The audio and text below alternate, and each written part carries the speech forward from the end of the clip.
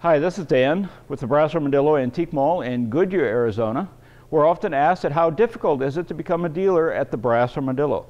And the answer is it's not difficult at all. We have spaces that are open booths like the one I'm standing in now. We also have locked showcases. So it depends on the type of merchandise that you have to the space that you select. We have a four week contract, which means you're in here for a minimum of four weeks or as long as you'd like to have. There is no long term commitment here. You pay only the last four weeks of your rent to move in. We have two pay periods within that four weeks, so we're paying out every two weeks. We provide dealer free price tags, which means you'll need to put a price tag on every item that you bring in. You'll neatly display it in your space, and then there's no need to remain here. We'll handle the sales functions from there. We'll provide you a detail of every item that you have sold. The Brass Armadillo turns out to be a fun and exciting venture for everyone.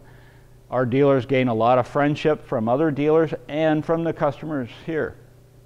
If you would like to know more about the Brass Armadillo, we invite you to visit our website at brassarmadillo.com slash dealer info. That's brassarmadillo.com and then look for the link that says dealer info. Or just write me an email, dan at brassarmadillo.com. Thanks. We got everybody talking. Everybody's talking about the brand.